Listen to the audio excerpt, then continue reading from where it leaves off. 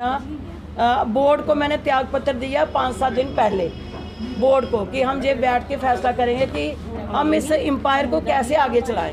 तो आगे चलाने के लिए हमने यही किया कि संजीता डोगरा जी को, जो इसकी स्टेट प्रेसिडेंट है, भारतीय जनता पार्टी की, उनको हमने चेयरपर्सन लिया इसका। महिलाओं का इतना बड़ा वुमेन क्रेडिट कोऑपरेटिव चल रहा है 312 एम्प्लॉई हैं। सरकार एम्प्लॉयज़ को बेनिफिट देना चाहती है।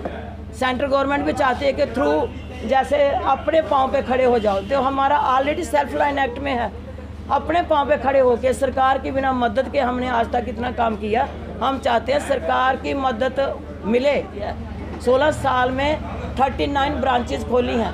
सारे काम किए हैं। मगर आज अब इस वक्त हम ये चाहते हैं कि सरकार के साथ मिल करके सरकार को ये जताया जाए कि हम लोगों ने काम किया है। हम ये चाहते हैं कि हम सरकार के साथ मिल करके सरकार खुद ही ये सारा काम करे, सरकार खुद ही साथ मिल करके ये काम करे, इसलिए हमने आज की प्रेस वार्ता रखी है, ताकि डोगरा मैडम जो आ रही हैं, उनको ये हमारे बोर्ड से मुलाकात भी हो जाए, और वो बोर्ड को कुछ डायरेक्शनें भी दे दें कि काम कैसे करना है हर ज़िले में कैसे हम कोऑपरेटिव को बढ़ाएँगे, खासकर वुमेन कोऑपरेटिव को, इसके ऊपर वो सारा चर्चा करेंगे।